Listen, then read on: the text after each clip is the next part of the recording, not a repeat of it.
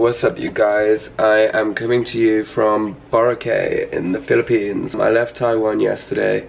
I was gonna vlog the journey, but you know what? I have just been too sick. Fear not, it's just a cold, it's just a bit of flu or something. I mean, I'll get over it, but it's really put down on the last few days. I got here last night and there was a huge Halloween party on and it looked really, really fun, but honestly, I felt so bad. I do actually feel a little bit better today, so hopefully, fingers crossed, we're, um, we're on the tail end of this. I'm definitely gonna just have a quiet day today because I really cannot be bothered to socialize when I feel like this crap.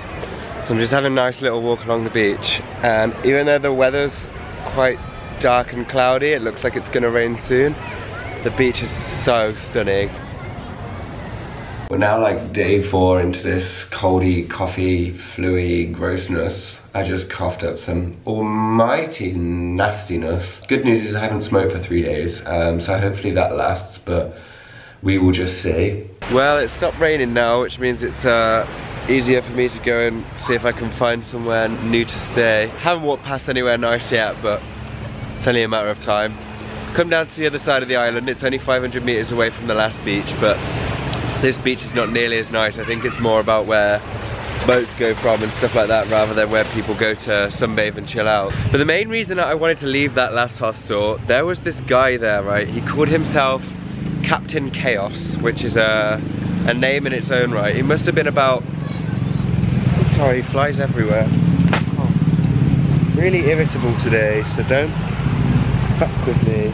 He called himself Captain Chaos. He must have been about 40 or 50, but he was very clearly an alcoholic and a smokeaholic, so maybe he was like 27 and had just aged really badly, I don't know. I didn't have an encounter with him when he was sober and I saw him at 9 o'clock in the morning, I saw him at 9 o'clock at night, all day he was drunk. And don't get me wrong, like his intentions were in the right place, he was like a friendly enough, nice enough person, but he was just fucking creepy, like always in my face.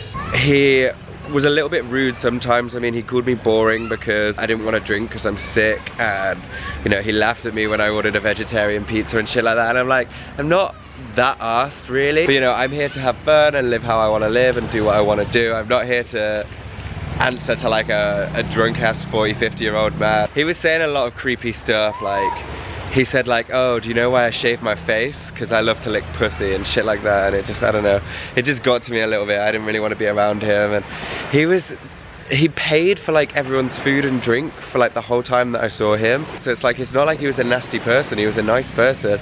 Was just fucking creepy. And he was definitely spoiling the vibe for me. I could not relax around him. I'm glad to be left from that place. The hostel was nice. I just didn't really enjoy the people that I met there. Being sick whilst traveling really does suck. There's no two ways about it, especially solo traveling because, you know, I don't have anyone to look after me or like help me out. I don't have anyone to talk to, which is fine actually because I need a few quiet days, but is kind of lonely. Normally spending this much time on my own really gets to me and really bothers me, but honestly a little detox and a little me time has been really nice because socializing constantly, as much fun as it is, is a little taxing. I have never, ever seen water this color there before. The sky is blue, the sand is white, the sun is shining.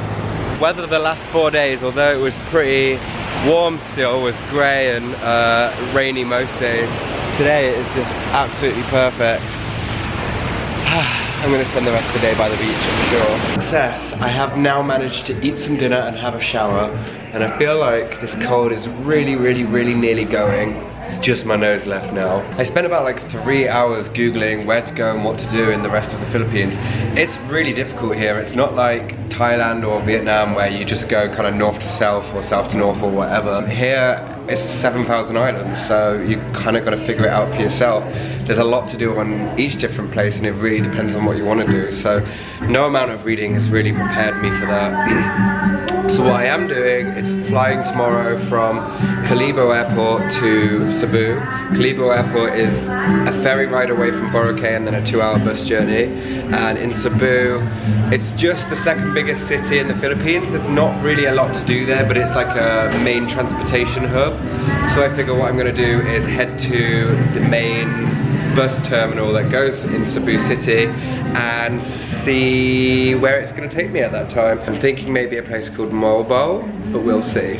And on that note, I am going to end the vlog here. If you did like this video, please go ahead and give it a thumbs up, hit that subscribe button and share. I would love to see you guys again soon and see more of you. And goodbye.